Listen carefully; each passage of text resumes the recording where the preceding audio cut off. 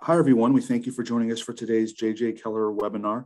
Uh, I'm going to get started here in uh, about a minute or so. Just want to allow some time for everyone to get logged on and settle in, but you are in the right place and we will get going in about another minute or so.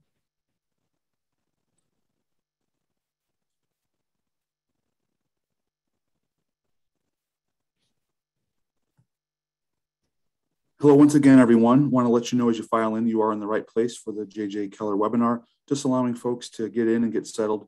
Going to get going in about another 30 seconds or so.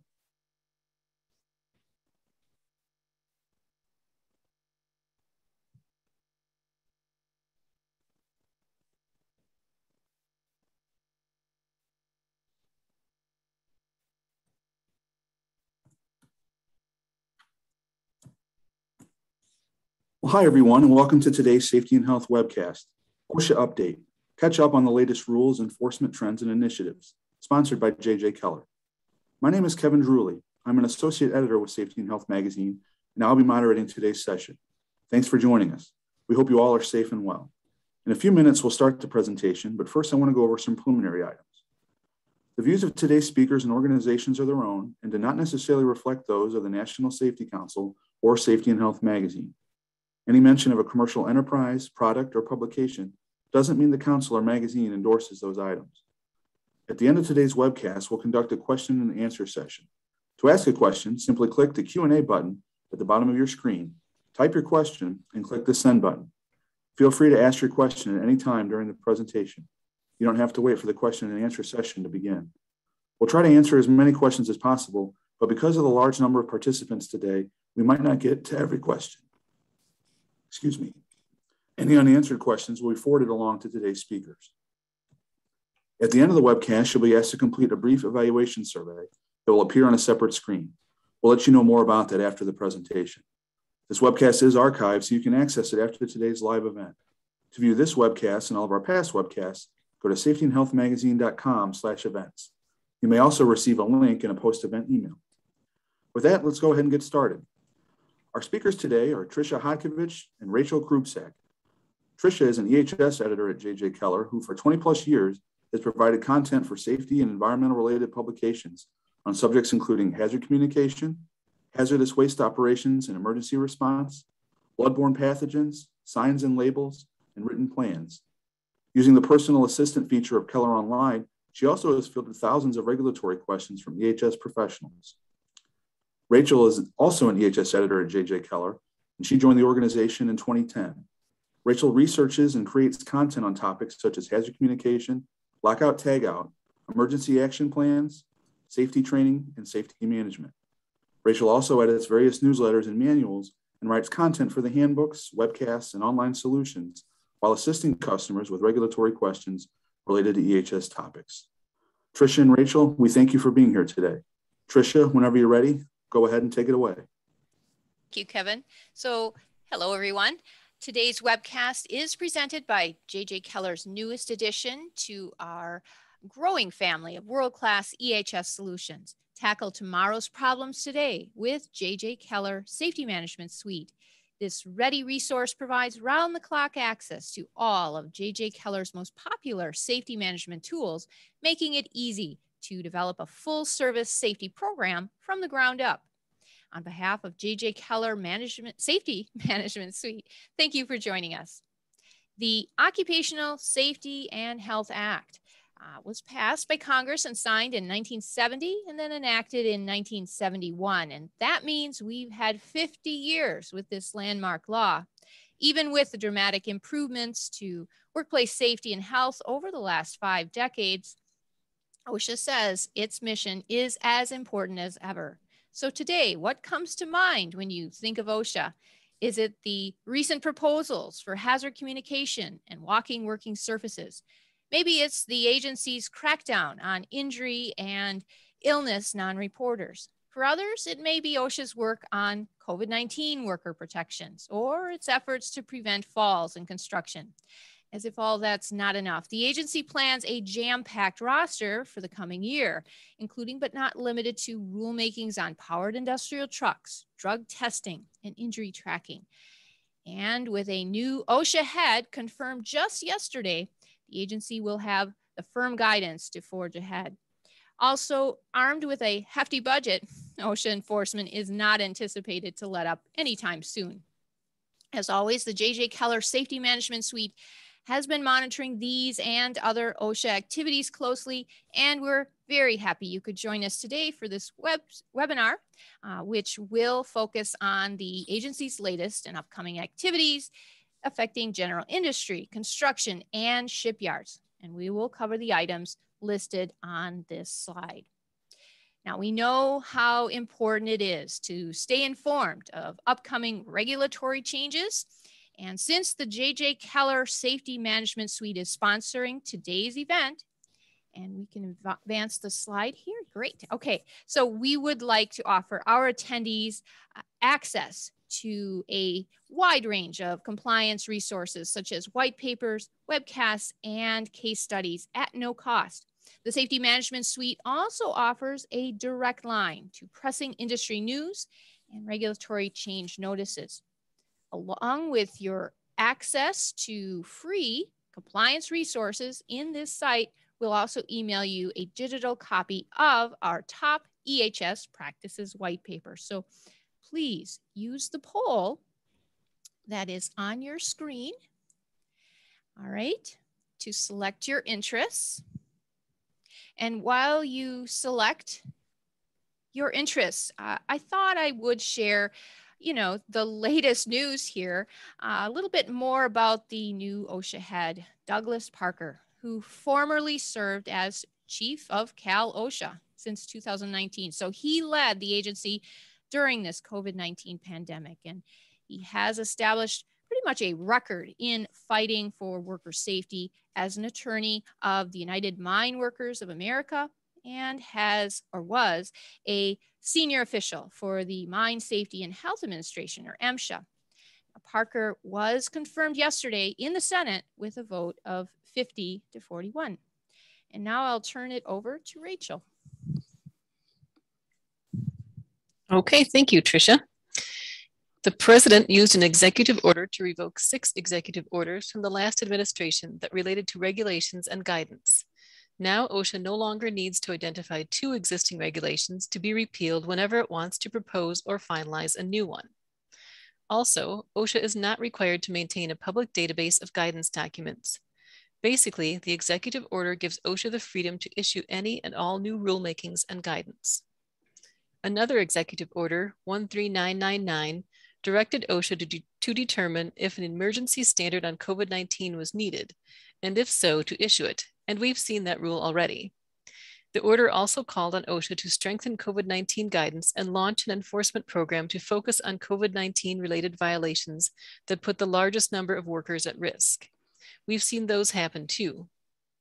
Also, last month, under a new action plan, the president ordered OSHA to issue another rule to ensure worker vaccination and testing. That rule is still coming. In fiscal year 2021, OSHA was budgeted for about $592 million, but the American Rescue Plan Act injected the OSHA budget with another $100 million, with a grand total nearly 692 million. To keep the momentum going, the fiscal year 2022 proposed budget asks for $664 million. If that amount is granted, OSHA will be able to hire 362 more full-time employees and push through more rules and conduct more inspections. Here are the OSHA final rules that we're going to examine today. They relate to the OSH Act, COVID-19, cranes and construction, beryllium, and a series of regulatory corrections. Recently, OSHA published the discrimination rule, the OSH Act says workers have protected rights. The new rule clarifies that if an employer discharges or takes adverse actions, and those actions would not have taken place but for the worker engaging in a protected activity, then the employer has violated the OSH Act. Also, the protected activity does not need to be the substantial, sole, or primary reason for the adverse action. You've probably heard that OSHA issued its final Emergency Temporary Standard, or ETS, for COVID 19, but it focuses only on healthcare employers. Originally, the rule was to have a broader scope and applicability, but the agency decided at the last minute that at this time the virus presents a grave danger to workers in healthcare settings. the ETS creates 29 CFR 1910 subpart U with the key provisions you see listed here. The federal ETS establishes minimum requirements for private employers in every state. States, of course, may be more stringent. Excellent, Rachel. Thank you. So, in response to a settlement agreement, uh, OSHA finalized a rule impacting the cranes and derricks in construction standard. Because the rule is deregulatory, the 28 states and territories with OSHA approved state plans were not required to adopt the changes. This rule basically makes the crane rule for construction more applicable to railroad cranes. Key highlights of the rule include adding new regulations dedicated to seven exemptions for railroad roadway maintenance machines and amending the regulations to exempt certain trucks and other railroad roadway maintenance machines not equipped with certain hoisting devices. In 2020, OSHA finalized amendments to its general industry standard for exposure to beryllium. Because beryllium is a metal stronger than steel and lighter than aluminum, it's used in many industries.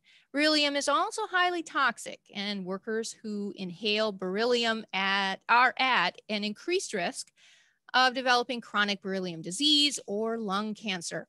OSHA says the latest amendments maintain general industry worker protections and ensure the standard is well understood and compliance is straightforward. Also in 2020, uh, OSHA finalized amendments to its uh, shipyard and uh, construction standards for beryllium. OSHA had considered tossing these regulations, except for their exposure limits, but OSHA found that the ancillary provisions were important for the protection of shipyard and construction workers. So instead, the changes tailored the regulations to these two industries. The hygiene provisions were removed because they duplicated existing sanitation standards. OSHA announced its long awaited final rule to correct certain typographical errors, extraneous or omitted information, outdated references, and inaccurate graphics in its regulations. Specifically, the final rule revised the regulations you see listed here. The corrections and revisions were minor and did not expand employer obligations or impose new costs. Rachel. All right, thank you. Let's examine the OSHA proposed rulemakings relating to power presses, walking working surfaces, and hazard communication. OSHA explains that its 40-year-old mechanical power presses standard has failed to keep up with technological changes. In fact, the standard does not address the use of hydraulic or pneumatic power presses. The agency tried proposing updates in 2007, but further action stalled. Now, OSHA is starting again, this time with a request for information, which the agency recently published. OSHA welcomes comments, but the deadline is today, October 26. You can comment on almost 70 related questions to help the agency determine how to proceed and whether to amend 1910-217. Questions touch on economic impacts, hazards, consensus standards, affected industries, and other issues. Commenters may address any aspect of power presses, including mechanical, hydraulic, and pneumatic presses. This action is part of a larger push to review outmoded, ineffective, and burdensome regulations. The date of a proposed rule, if, if any, is a ways off. OSHA has walking working surfaces regulations, including provisions for handrails and stair rail systems. However, a recent proposal corrects and clarifies the requirements after OSHA received numerous questions since 2016. Table D2 of 29 CFR 1910-28 touches on stairways with two open sides having at least three treads and four risers and a width of less than 44 inches. For these particular types of stairways, OSHA clarifies that a handrail is required on each open side, with the exception of stair rail systems installed before the effective date of any upcoming final rule. OSHA also proposes to revise 1910 29 paragraph F to require stair rail systems not less than 42 inches in height to have a separate handrail 30 to 38 inches in height but the top rail may serve as a handrail if the stair rail system is installed before the effective date of any upcoming final rule and meets handrail requirements.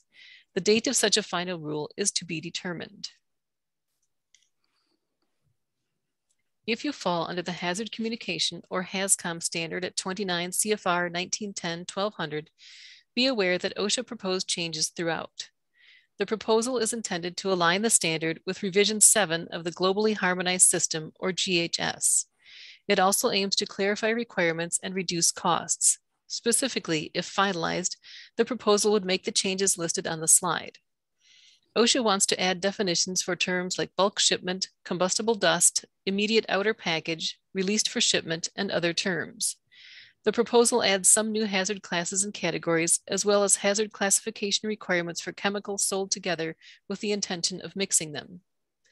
The proposal addresses the, the labeling of small containers, shipments in tanker trucks or rail cars, and packages released for shipment that are awaiting future distribution. Required content for the safety data sheet would be revised and concentration ranges could be claimed trade secret. While the proposal mainly impacts chemical manufacturers, importers, and distributors, employers would need to maintain any updated safety sheets received and train employees in new chemical hazards that arrive at work. A final issue date, rule date is to be determined. The last agenda was our first glimpse at what the new administration wants to do with OSHA regulations. None of these here on the slide appeared in the Federal Register, even though some of these dates have gone by. Now, we address emergency response, heat illness, and infectious diseases in a bit.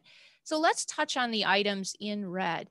OSHA will propose to uh, update its ANSI reference in the powered industrial truck standards for general industry and construction, new trucks would have to meet the design and construction provisions of more modern ANSI standards.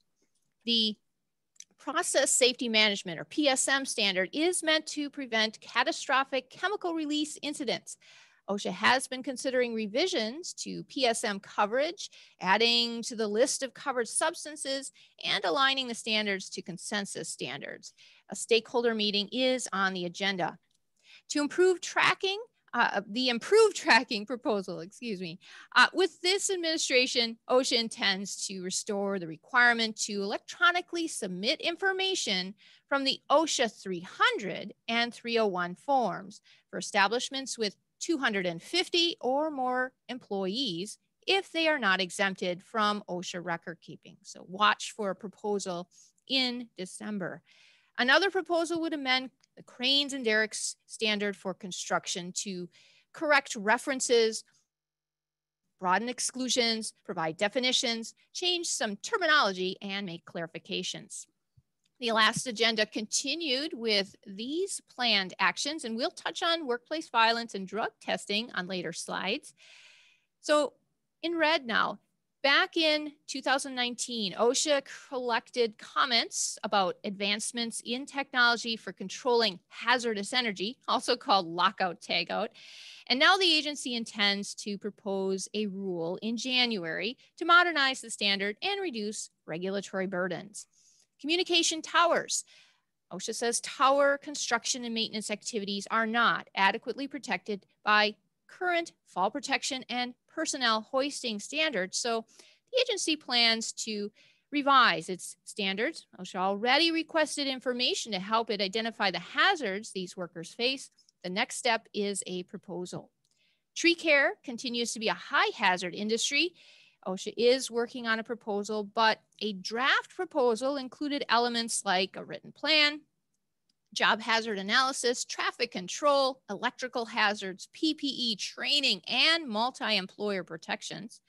And lastly, a rulemaking on OSHA's long-term list would restore a column to the 300 log that would indicate cases of musculoskeletal disorders. This month, OSHA has convened a small business panel to review a draft comprehensive emergency response standard to protect workers in general industry, construction, and maritime who respond to emergencies as part of their regularly assigned duties. While broader than the fire brigade standard, the new standard would replace existing 1910.156. OSHA says existing standards are not designed to address the full range of hazards or concerns currently facing emergency responders and skilled support, nor do they reflect changes in performance specifications for personal protective equipment and clothing. Now, we were able to get a look at the latest draft proposal, which lists the regulatory elements you see here on the slide. OSHA will now get the panel's input before the agency may proceed to the proposal stage, and a report is anticipated in December. OSHA will publish its official heat injury and illness prevention advance notice of proposed rulemaking in the Federal Register tomorrow. And this notice will allow OSHA to gather perspectives and expertise on heat stress thresholds, acclimatization, uh, monitoring, and worker protections from both outdoor and indoor heat. The notice, which is available in a pre publication version today, reveals that OSHA is soliciting information on 114 questions on everything from covered industries and jobs, geographic regions, uh, existing heat illness prevention efforts, all the way to control measures and the cost of the rule. There's even questions on climate change and underreporting of heat related illnesses and fatalities. Now, that notice gives you 60 days to comment. To date, uh, a few states and the military have issued heat protections. Federal OSHA relies currently on the General Duty Clause or Section 5A1 of the OSHA Act to protect workers from heat hazards. The trouble is, it's it's more difficult to protect workers from heat stress in light of a contest case decision. In that case, the Occupational Safety and Health Review Commission found in 2020 that OSHA failed to establish a condition or activity at the cited employer's worksite that presented an excessive heat hazard, even though the heat index was well over 100 degrees Fahrenheit. The case hinged on OSHA's use of the National Weather Service heat index chart, which does not explain the basis for its color coding risk categories, nor does it define the terms prolonged exposure or strenuous activity. So without that information, OSHA's use of the chart cannot demonstrate a violation. A rulemaking, though, would make it easier for OSHA to cite employers for heat related violations. Note that since 1972, NIOSH has recommended that OSHA issue a heat stress rule and again recommended regulatory elements in 2016. Uh, Rachel. OSHA is finally moving on a proposed rule to prevent and control infectious diseases in what the agency calls high risk environments like hospitals, emergency response operations, prisons, homeless shelters, drug treatment centers, labs, mortuaries, and other work settings. A small business panel met years ago to review a draft regulatory framework and issued their report voicing many concerns. And the review resulted in a general recommendation that OSHA not issue a proposed rule until the agency has assessed information on the risk to each potentially covered task and workplace. The report suggested exempting work settings that do not routinely provide infectious patient care and work settings that are adequately covered by the bloodborne pathogen standard. The panel also thought that a new rule may not be needed because the CDC offers guidance. Others suggested adopting CDC standards. Another approach was to focus the rule solely on training. Of course, that was all before the COVID 19 pandemic. There's more pressure now for the agency to issue a rule, but a proposal comes first and is expected to be issued in December. Last month, the president ordered OSHA to issue another emergency temporary standard, this time to require private employers with at least 100 employees to ensure that employees are either vaccinated or tested for COVID 19 weekly before coming to work. However, employers may choose to require the vaccine without, without allowing for a testing option. The rule will also require covered employers to give their employees paid time off to get vaccinated and to recover from post vaccination reactions. OSHA completed the final rule and sent it to the White House for review two weeks ago. This one is expected to be approved and issued quickly. The Obama administration granted a petition for a rule on workplace violence, and while the last administration said it was a priority, it kept kicking the can on, on the next step, the small business panel. With a new administration, we should see this one move forward. When a small business panel begins, often OSHA provides a draft rule or at least an outline for the panel to review. Right now, OSHA cites the general duty clause when it finds employers that expose their workers to this recognized hazard. OSHA says a regulation on work violence would help clarify your obligations and the measures needed to protect workers. In May 2016, OSHA added a regulation that employers not have any barriers for employees to report injuries or illnesses. The rule also said that employers could not discriminate or punish employees for being injured. While the rule itself didn't address drug testing or incentive programs, policy guidance published along with it indicated that most post incident drug testing programs would be in violation. The same thing was said about incentive programs that were tied to injury rates. Then in 2018, OSHA clarified that the regulations do not prohibit post incident drug testing or safety incentive programs. The memo discussed several permissible drug testing and incentives programs and explained that they would only be in violation if the employer took the action to penalize an employee for reporting an injury or illness. The previous administration had hoped to memorialize this position in the regulations. This rulemaking item is still on the agenda, but the new administration pushed it from short term to long term. It's hard to say, but it's possible we may see the original 2016 policy make a comeback. Before we move on to enforcement highlights, we'd like to ask attendees which upcoming regulatory change will impact you the most. Is it the regulatory changes to standards on hazard communication, powered industrial trucks, or lockout tagout? Is it improved tracking, COVID 19 vaccination and testing, or heat illness prevention? Please go ahead and lock in your selection. We talked about all of these regulatory changes today. Some of these may be more impactful than others, so we'd like to know what you think, and we will share your results.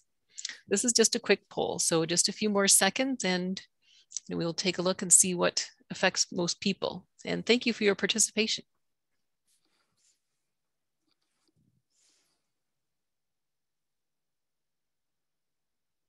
Okay, so it looks like about 62% of you say that the COVID-19 vaccination will impact you the most. And this is followed by hazard communication with 12%, lock, uh, heat illness with 9%, lockout tagout with 7%, powered industrial trucks with 6%, and improved tracking at 4%. Safety Management Suite is watching all of these and other regulatory changes closely. Thank you, Rachel. So here are the OSHA enforcement highlights we'll be covering, including strategies, directives, and violations. OSHA continues to keep a list of employers fined $40,000 or more. Over 8,800 of these high penalty cases uh, have occurred since January 2015. The largest penalty in the bunch is almost $2.9 million. Significant cases are, are those with fines exceeding $180,000. There have been about 570 of those since January 2015. OSHA can cite for egregious and per instance willful violations. One of these cases made headlines several weeks ago. Uh, two workers died after a dump truck struck and pushed them into a nine foot tr- deep trench. And because the employer had six untrained workers and a history of violations, OSHA multiplied the $136,000 training violation by six for a total of just under $820,000. In the end, OSHA cited the company for 28 violations with a proposed $1.35 million fine. In recent years, we've seen more felony cases involving OSHA violations. The Department of Justice steps in to prosecute OSHA violators for penalties or felonies, excuse me, uh, something OSHA cannot do. So, for instance, a company owner is facing a possible 10 years in prison after recently pleading guilty to lying to OSHA and making illegal tank repairs that led to an explosion that severely injured an employee. One failure to abate case caught our attention. A worker lost fingers attempting to clear a jammed machine, and the company's fine for three violations started at just $9,000, but jumped to almost $270,000 when it failed to abate cited lockout, tagout, and machine guarding hazards. Failure to report. Uh, employers have to notify OSHA of any work related fatality, hospitalization, amputation, or loss of an eye. Non fatality uh, reports are called severe injury reports.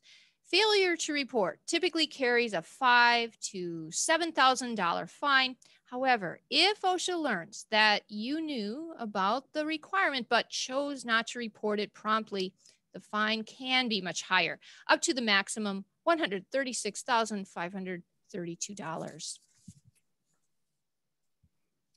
OSHA has also made the information from the severe injury reports available online to the public. It includes employer names and addresses, industry codes, and narratives of each of the reported events, sanitized of any personally identifiable information about the injured or ill workers. The data includes over 63,700 reports from January 2015 to March 2021. That's about 850 reports a month. Okay, so a year ago, OSHA started posting the Form 300A data submitted by covered employers under 1904-41. The information shows submissions from 2016 to 2020. For each submitter, the data reveal the employer name, address and industry, number of injuries, illnesses, and deaths, and number of days away and job transfer or restriction cases. The idea is employers will be nudged into compliance because their data is posted for everyone to see. The Severe Violator Enforcement Program targets serious and persistent violators. These companies too are listed on the internet and required to undergo follow-up OSHA inspections. You'll find 687 employers on the log right now. 69% of these listed employers have 20 or fewer employees. The agency also shames violators by posting hard hitting press releases. And since the new administration, we see the press releases a day or so after citations are issued, including a link to the actual citations and penalty amounts. In January, six employees went to work at a poultry processing plant unaware they would not return home. Just after their shift began, a freezer at the plant malfunctioned, releasing colorless, odorless liquid nitrogen, displacing the oxygen in the room. Now OSHA cited four companies, the food processor, gas delivery service, equipment service, and sanitation service for a total of 59 violations and almost $1 million in proposed penalties. Under multi-employer enforcement, OSHA claims all four companies are responsible for the facility operations. Another OSHA strategy is multi-location enforcement. Let's say your Atlanta location was cited last year, but now your Houston location is cited this year for the same violation. Now the agency may issue a more costly repeat citation for the Houston location, or OSHA may visit your other locations looking for repeats or call for entire enterprises to fix a specific violation at all locations or else face repeat violations. OSHA can arrange a corporate wide settlement. Uh, a national retailer paid $465,000 to settle an OSHA case the settlement requires the retailer to set up a program to ensure that materials are stored safely and that exit routes are unobstructed at 200 of its stores. OSHA will conduct follow up inspections. The agency takes settlements seriously. Recently, a company settled with a $122,000 penalty, but when the company failed to abate violations, failed to comply with the settlement, or submit documentation, another $180,000 was added. More follow up inspections found willful, repeat, and serious violations, and now the company faces $600,000 in penalties. Finally, even though OSHA has no workplace violence regulation, a court upheld a citation involving the general duty clause after an inpatient psychiatric hospital was cited for inadequately protecting its workers from patient aggression. OSHA implements 10 inspection programs nationwide. These are called national emphasis programs that target certain industries and certain hazards. OSHA's NEP for COVID 19, updated in July, targets high risk industries in healthcare and non healthcare. The agency issued an NEP in 2020 targeting 43 industries with high silica exposures. And amputations NEP was started in 2019, still going on. It aims at 75 manufacturing subsectors. OSHA is also developing another NEP to target high risk industries with high hazards. OSHA has a secret list of targets under its site specific targeting or SST program, which runs through December 2022. the agency selects random targets of non construction, non office, non government workplaces with 20 or more employees that are either considered high rate establishments, meaning with the highest rates of injuries and illnesses, or upward trending establishments with rates above their industry's national average in 2017 that continued to trend upward in 2018 and 2019. For construction, every month, each OSHA office is provided with a randomly selected list of construction projects from all known active projects. All sites on the list must be inspected, and typically no site will be selected for inspection more frequently than once per trimester. And finally, there's over 100 regional and local inspection programs covering more industries and hazards. Just an example, in recent weeks, OSHA regions five and six began targeting seven industries in 11 states that clean or inspect truck and rail car tanks. Uh, just last week, Region 7 announced its tar- that it is targeting health hazards like asbestos and other substances in 50 different manufacturing and service industries over the next five years. Recently, OSHA issued noteworthy directives or instructions for the inspector, but you can use them to help you understand the regulations, when the regulations apply, and what you need to do to comply. Recent compliance directives cover the excavation, COVID 19, and silica standards. The latest Field Operations Manual, which goes over how the agency implements inspections, issues citations, and proposes penalties, also has a new chapter on how OSHA will release inspection records under the Freedom of Information Act. This enables public access to government records upon request. OSHA issued a CPL on corporate-wide settlements where if a serious hazard is found at one establishment and, and it's likely the same hazard may be occurring at other establishments, a corporate-wide settlement should be considered. OSHA currently follows an enforcement memo on drones, but the agency says it anticipates a new directive any day to cover the agency's procedures for using drones for inspections. With less than 20 drones, the agency has been using them for a few years to get at work areas inaccessible to an inspector, areas that pose a hazard to the inspector, or situations where it is an emergency. The directive will require qualified and trained persons to operate the drones.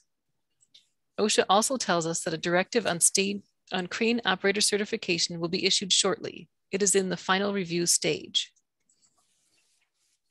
Thank you, Rachel. So enforcement memos are aimed at OSHA offices and inspectors to instruct them in how to enforce something.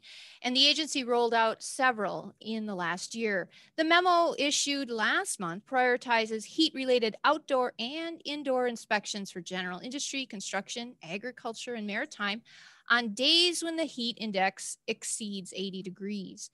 The July memo provides instruction for handling COVID 19 related complaints for workplaces not covered by the emergency temporary standard. The June memo recognizes the link between tree trimming and removal hazards and existing standards on falls, falling objects, ladders, aerial lifts, power line safety, noise, PPE, and others. A May memo instructs OSHA inspectors to take time during each inspection to determine whether the employer was required to submit Form 300A data under 1904.41, but failed to do so. OSHA published interim enforcement guidance in April for its beryllium rules. And you can gain insight about the regulations by uh, reviewing these inspection and citation procedures. In January, the agency listed high, medium, and low gravity based penalty amounts that will be assigned for violations, as well as penalty reductions based on employer size. Two memos were issued in December. One instructs instruct, uh, inspectors to make reasonable efforts to obtain an establishment's employer identification number before and during an inspection.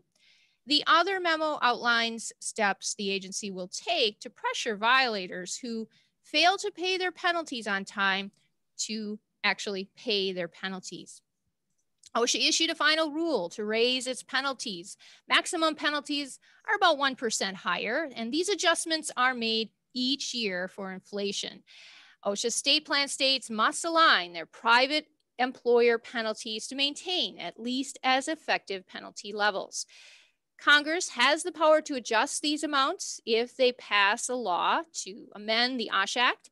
Some legislators in the House would like, really like to push the maximum penalty to $700,000 for willful or repeat violations and $70,000 for serious and failure to abate violations. Right now, though, note the failure to abate violations are tallied per day and are generally limited to 30 days. So that's a maximum of over $409,000 that could be tacked on for each violation.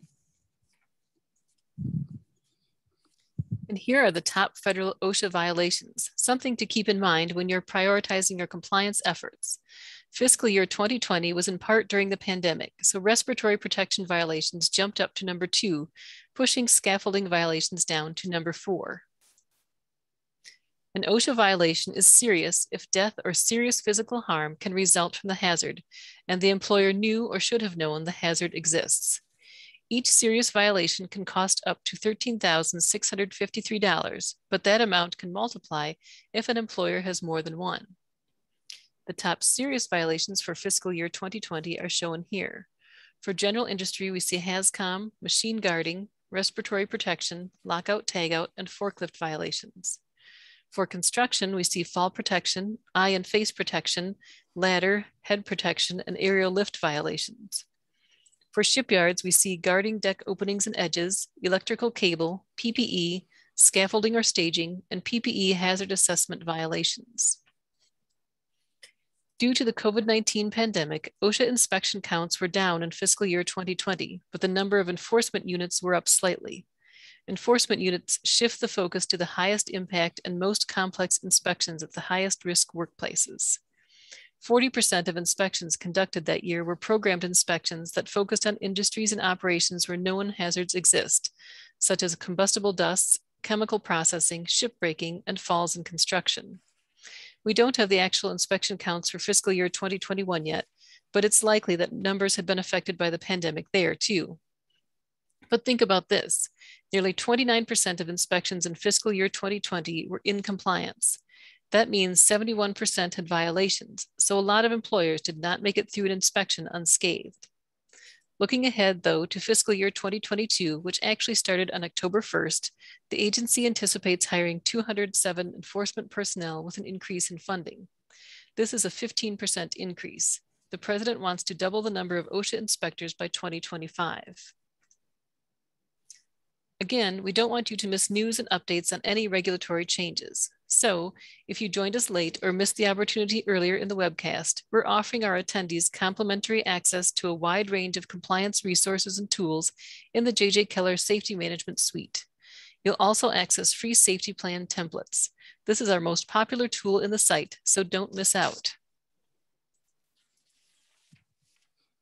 Okay, and along with your access, we'll also send you our white paper, Top EHS Practices, Key Components of a Full Service Safety Program. And there's the poll. So let, let us know your interests. Uh, in addition to regulatory notices, the Safety Management Suite contains all of JJ Keller's most popular safety management tools, including customizable training programs, audit and inspection checklists, written safety plan templates, word for word, federal regulations, state comparisons, and more. So while you make your selection, let's take another question. Uh, Kevin, what do you have for us? Yes, certainly. Uh, thank you. No, getting a lot of good questions and have time for those um, here shortly. But first, I have someone just asking, what is the status of OSHA's HazCom rule? Okay, I can take that one. Um, so OSHA proposed the HazCom rule back in February, and last month, at the end of September, it hosted about two and a half days of a public hearing to learn about any concerns with the proposed changes. Um, some people objected to classifying the downstream hazards of foreseeable reactions, and there's also been some concern over the narrow concentration ranges for the trade secret chemicals. Um, Cal OSHA even suggested that OSHA withdraw the proposal and start over. At this point, though, um, OSHA says they'll review the concerns addressed at the meeting and probably issue the final rule based on the record as a whole. So probably next year, but at this time, they do not have a tentative date on that. And I will turn that over to Tricia now. Okay, so OSHA also has several initiatives, programs, and areas of focus.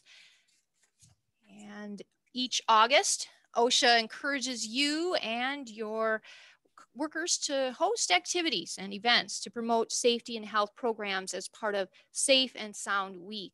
The idea is to show your commitment to the safety of workers, customers, the public, or supply chain partners. The event aligns with guidance to help employers establish a safe and or safety and health program. And each program element uh, in the guidance has a short description, action items, and ways to accomplish those actions. The new administration did not back, uh, bring back the uh, safety and health programs proposed rulemaking, though, to its regulatory agenda. Under that rule, employers of all sizes would be required to set up a process to find and fix their workplace hazards. But, you know, we may see that rule come back in the future. While heat stress is often associated with workers working outdoors in the heat, OSHA can and has cited heat illness hazards indoors year round. Even with greater enforcement for heat hazards, OSHA continues its campaign to educate workers and employers about the hazards of working in the heat and steps to prevent heat related illness and death. This summer, the agency issued a colorful fact sheet to assist employers and employees. OSHA has been bringing up opioid overdose deaths for construction workers as a current issue. Opioids are commonly prescribed to construction workers who are more likely to die from opioid overdose than the general worker population. The agency says worker suicide is a health issue and covered by its mission. In fact, OSHA says the CDC found the rate of suicide for men working in construction is four times higher than the general working population. So the agency has a topic page on suicide in construction. Several weeks ago, OSHA issued a video and links to several resources.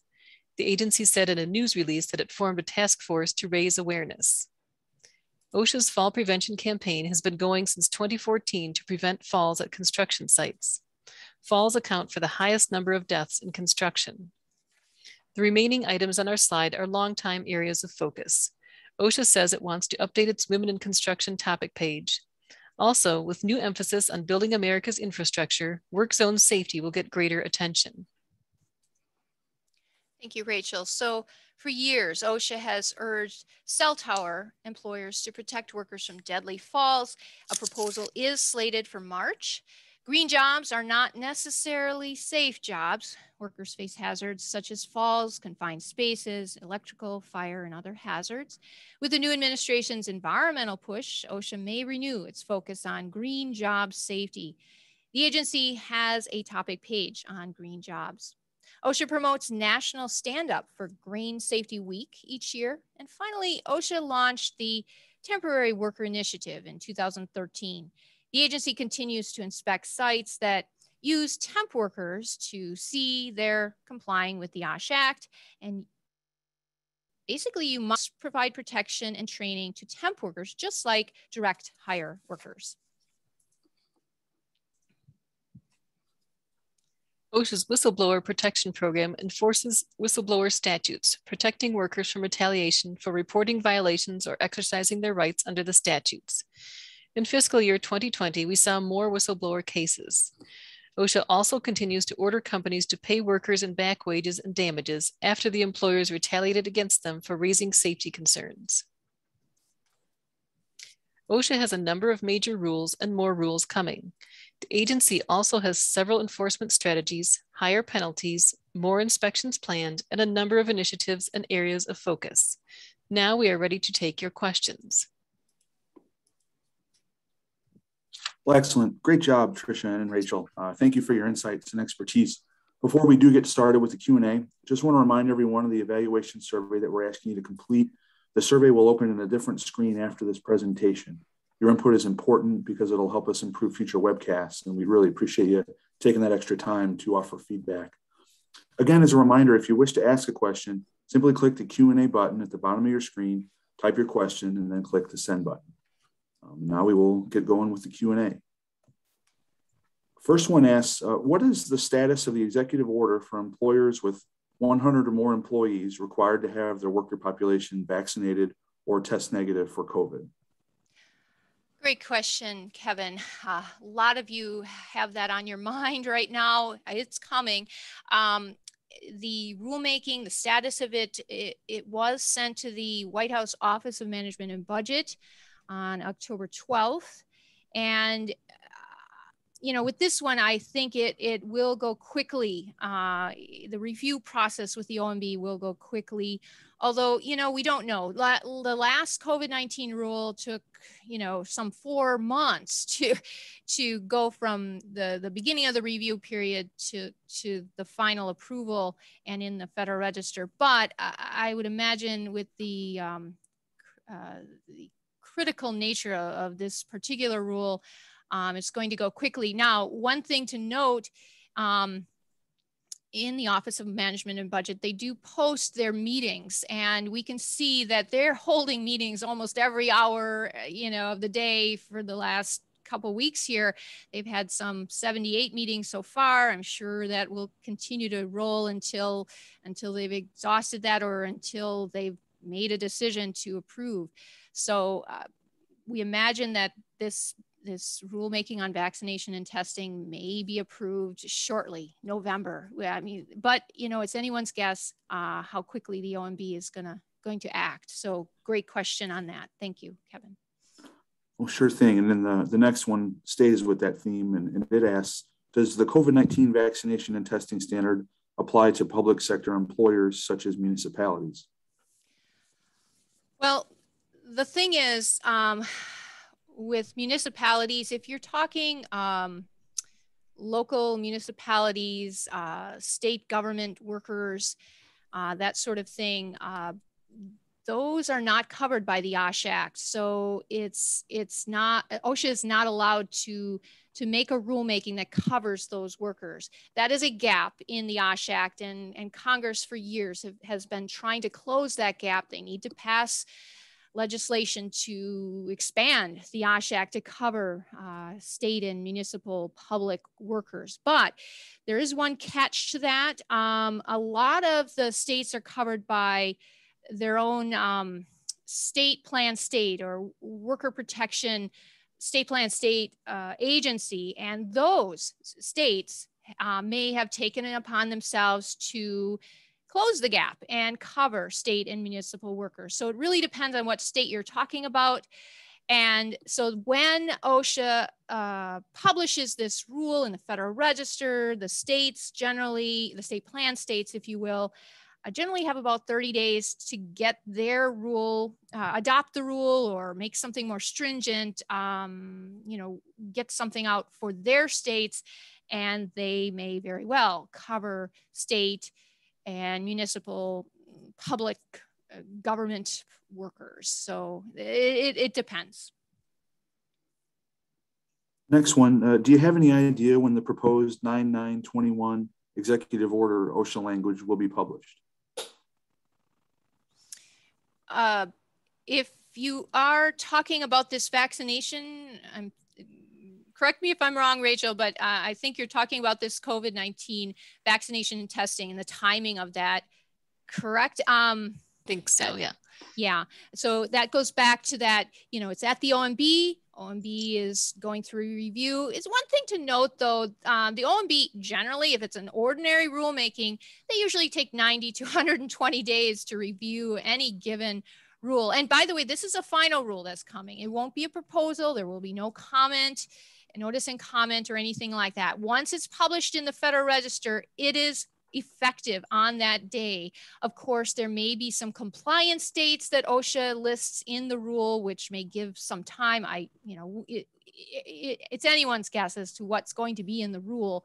But again, because of the nature and the criticalness of of this rulemaking, I would imagine the OMB is going to try to approve the rule as quickly as possible. Once they do, um, OSHA is free to publish it in the Federal Register. Does the discussion of untrained employees include contractors?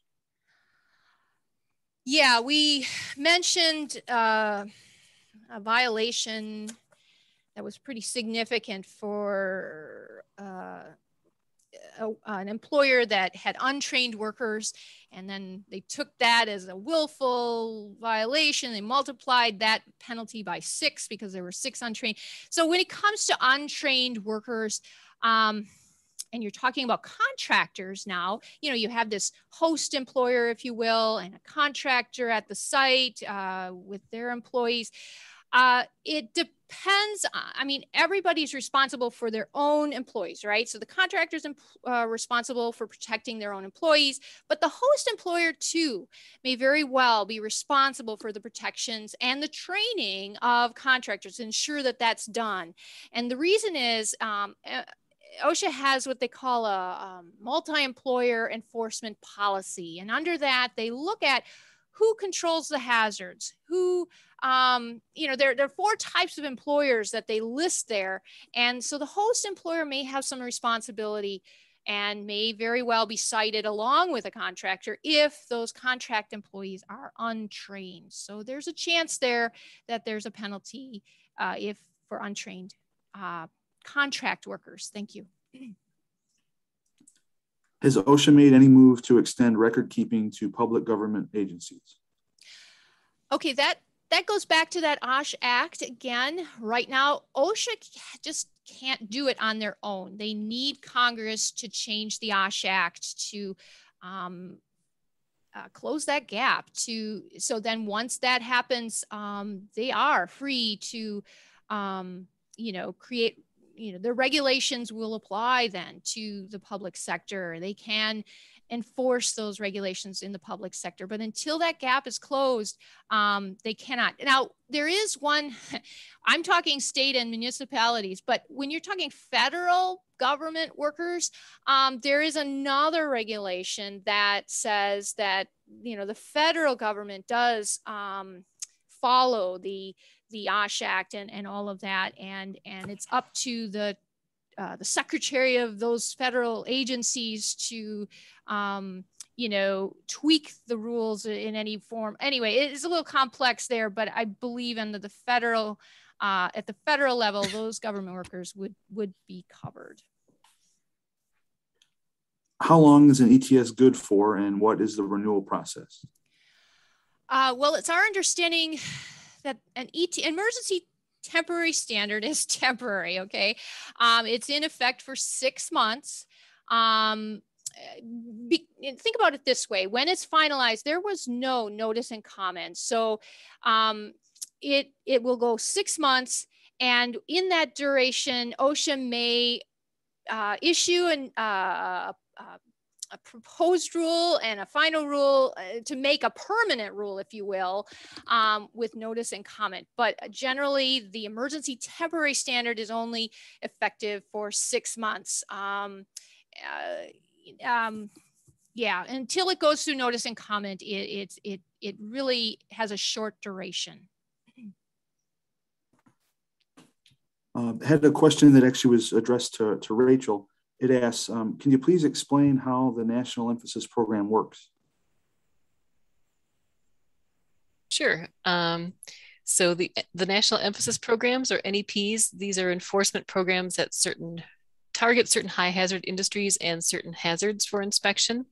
And currently OSHA has 10 of these NEPs. Um, they plan to add one more on heat hazards. And so when you hear about programmed inspections, NEPs fall into that group of inspections. These are planned inspections with certain targets in mind. And the list of NEPs may change over time as OSHA focuses its attention on certain industries and certain hazards. Looks like we've got time for, for one more, and this one was to, to Tricia. It says, what, what is the look back time for repeat violations? About how far back will OSHA look? Oh, uh, great question. So uh, right now, uh, OSHA looks back at employer citations uh, issued within five years. Um, you know, um, early on, they had a three year uh, look back, but now that's five years that they look back.